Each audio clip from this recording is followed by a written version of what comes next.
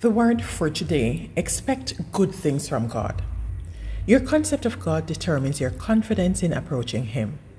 Do you view Him like an auditor and your books don't balance?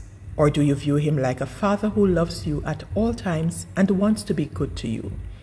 When approaching God, you may consult your mental scorecard to see whether you have more wins than losses, rights than wrongs, credits than demerits. If you feel like you're not performing well, you may avoid God or make Him your last resort. That's a mistake because God sees you in Christ. 2 Corinthians 5:17. And therefore, you are always accepted and welcomed into His presence. You say, Does that mean I can live any way I please? No. The Lord disciplines the one He loves. Hebrews 12, verse 6.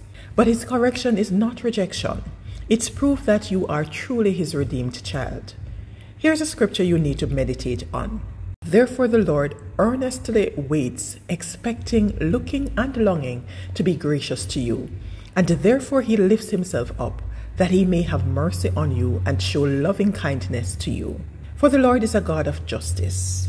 Blessed, happy, fortunate, to be envied are all those who earnestly wait for him who expect and look and long for him, for his victory, his favor, his love, his peace, his joy, and his matchless, unbroken companionship.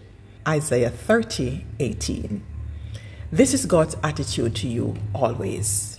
The Lord earnestly waits, expecting, looking, and longing to be gracious to you. Start expecting good things from God.